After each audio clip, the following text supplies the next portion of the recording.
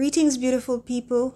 Welcome or welcome back to Earth's Medicine, where we explore the healing wonders of Mother Earth with a Jamaican flavor. If you're new here and you like to learn about the medicinal uses of plants that grow in Jamaica, then consider subscribing. I mean, it's totally free.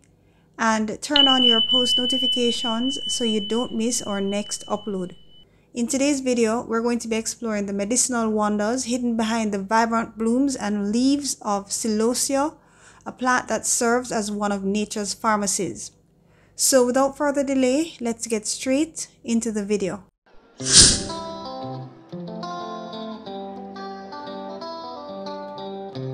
Okay, so the Celosia genus is well known, and the plants from this genus are widely used as ornamental plants.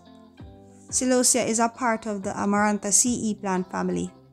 And if you're familiar with the plant that's on your screen right now, which is a plant that we Jamaicans commonly refer to as pustil, it's also a part of this family. Now, apart from Celosia's ornamental use, the young leaves and shoots are eaten as a vegetable in some cultures. So, usually, people from parts of Africa and Asia steam them or they use them in soups and stews.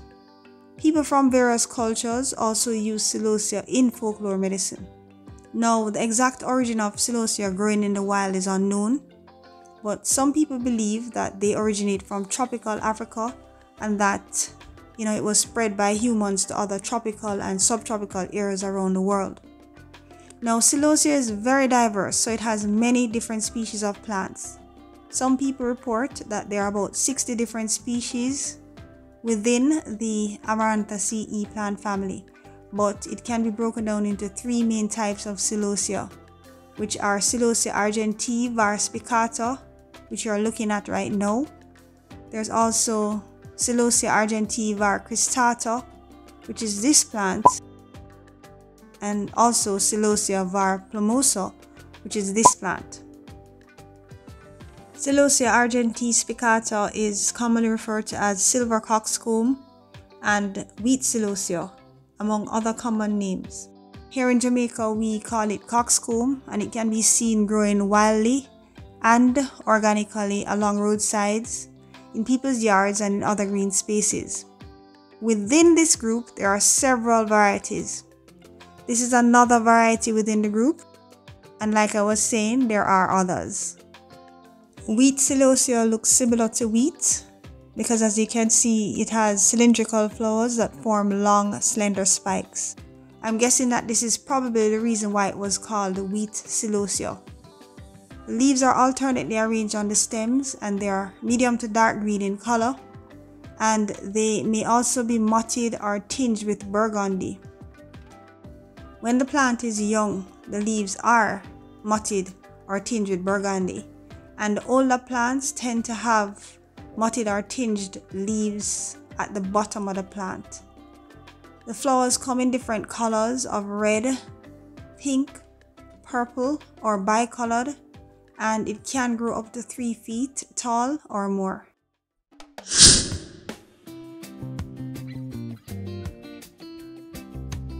The parts of the plant that are used to make medicine are the whole plant, leaves, roots, seeds, and flowers. The flowers and seeds are parasiticide, meaning that they can destroy certain parasites. The plant is useful against trichomonas, which is a type of parasite. The flowers and seeds are also astringent and hemostatic, meaning that they can stop bleeding. They're also ophthalmic, meaning that they can be used for eye problems. People use the plant to help with things like bloody stools, hemorrhoid bleeding, uterine bleeding, leukorrhea, high blood pressure, bloodshot eyes, blurry vision, and also cataracts. The leaves and seeds are used for dysentery, diarrhea, and acute abdominal pain. People also use the leaves for infected sores, wounds, and skin eruptions. The whole plant is used for snake bites, and the roots are used for colic, gonorrhea, and eczema. In India, people use the seeds to help with diabetes. The seeds have antibacterial properties and can stop the growth of Pseudomonas, which is a type of bacteria that can cause infections in humans. People who are recovering from a serious illness or injury also use the leaf and flower extract to wash their bodies.